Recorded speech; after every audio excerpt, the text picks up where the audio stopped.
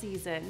On Wednesday, Mariah Carey, aka the Queen of Christmas, gifted lambs with a festive throwback video of her 1994 performance of Silent Night at the Cathedral of St. John the Divine. Silent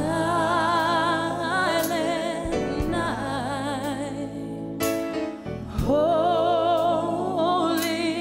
night.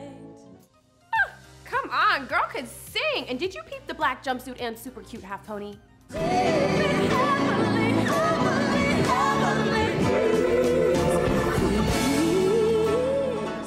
Live recording is included on the 25th anniversary edition of Mariah's first and now classic holiday album, Merry Christmas. And according to a tweet from the superstar, it looks like more footage from the concert is coming the Lambily's way. Using the hashtag Merry Christmas 25, Mariah wrote, New video, Silent Night. Which one would you like to see next? To stay caught up with Mimi, plus all of your other favorite artists, you already know. Keep it locked on Billboard.com. For Billboard News, it's your girl, Jordyn Rolling.